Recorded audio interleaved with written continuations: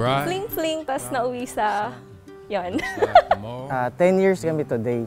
Wala na sigurong tatanggap sa akin siguro. Na-realize ko na siya na talaga. Ang sakramento ng kasal ay maaaring isang oras na selebrasyon lamang, pero nakasalalay dito ay panghabang buhay. Parang may kulang sa sa akin nung hindi ko siya kinakausap, yung wala kami communication. Hindi ko kaya na mawala siya. in you. I found my home from home. I left all that I knew for a life that I know. Rise me from Sorry. Sorry sa lahat ng mga lagi ako nagagalit sa'yo. So, It was pasensyahan mo na siya. Pero sobrang mahal kita.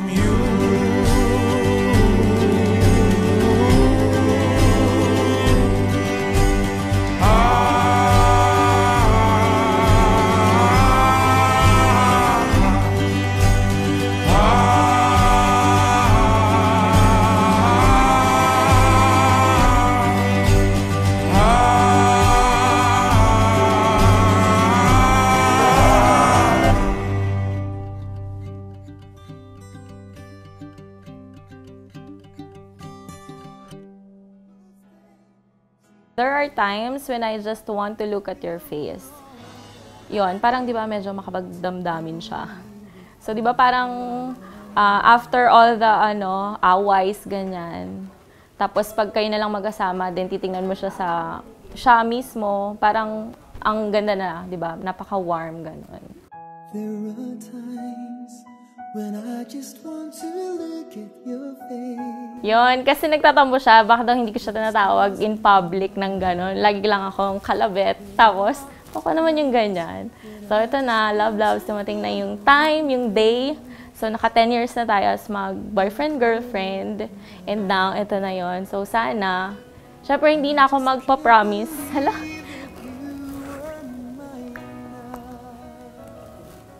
Uy, tika, huwag niyo sa... Just a dream that I once knew. I never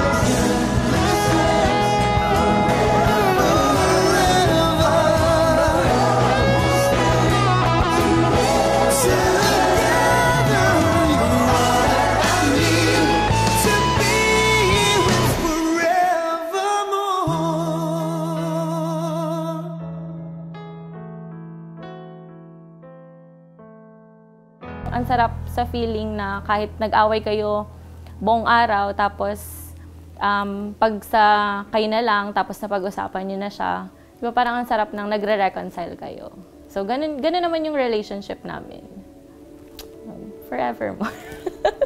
Tunay nga na sa sakramento ng kasal ay more than sa singsing, more than sa bulaklak, more than pa sa aras o more than pa sa selebrasyon, kundi ang masigit na kailangan ng Diyos ay ang puso na nagmamahal.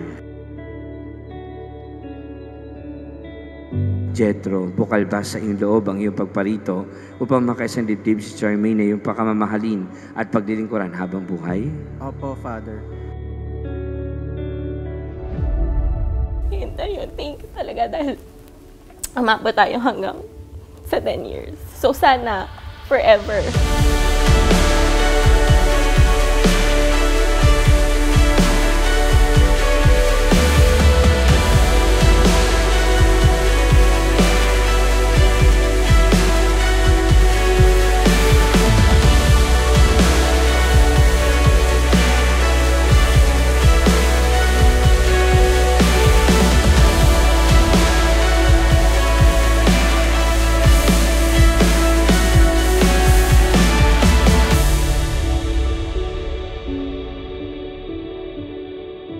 I may have not been the perfect partner, I've enjoyed the journey that uh, we had and I'm looking forward to more journeys with you. Mahal na mahal kita.